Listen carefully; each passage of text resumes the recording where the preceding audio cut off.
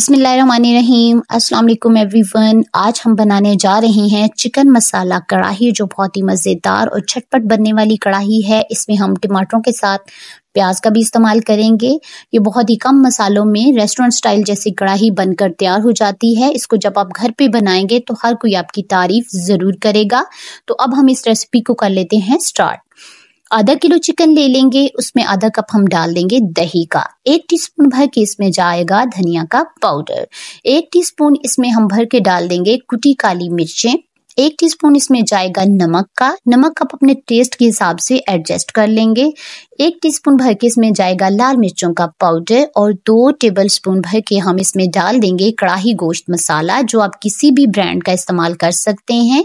इस तमाम मसाले को हमने चिकन पे लगा के बहुत ही अच्छी तरह से मसाज करके इस चिकन को हमने आधे से एक घंटे के लिए मैरिनेट कर देना है।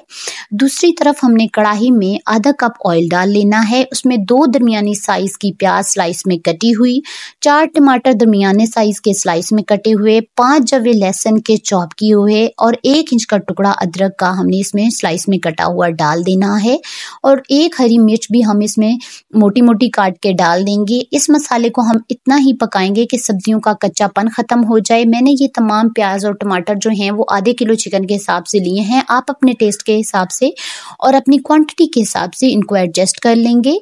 इस तमाम मसाले को हमने जब जैसे ये सौते हो जाता है तो थोड़े ऑयल के साथ ही हमने इसको ब्लेंडर में निकाल देना है और इसको ब्लेंडर में बहुत ही अच्छी तरह से पीस के हमने इसको रख देना है साइड पे। बाकी कढ़ाई को हमने साफ़ कर लेना है। इसमें जितना भी अगर कोई लेफ़्ट ओवर मसाला है तो वो हम निकाल लेंगे और इस कढ़ाई में हम थोड़ा सा ऑयल और डाल देंगे साथ ही उस ऑयल के अंदर ही और जो मसाला हमने मैरिनेट किया था चिकन के साथ, उसको डाल देंगे।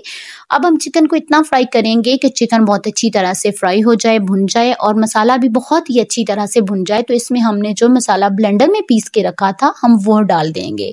अब इस मसाले को हम बहुत अच्छी तरह से स्लो फ्लेम पे भूनेंगे। जैसे ही मसाला भुन जाएगा और ऑयल बहुत ही अच्छी तरह ऊपर आ जाएगा और बहुत ही मज़ेदार सी खुशबू आने लगेगी तो अब हम इसको धनिया से गार्निश कर लेते हैं। ये बहुत ही मज़ेदार चटपटी चिकन मसाला कढ़ाई रेडी है। अगर आपको वीडियो अच्छी लगे तो वीडियो को लाइक कर दें, चैनल को सब्सक्राइब कर दें।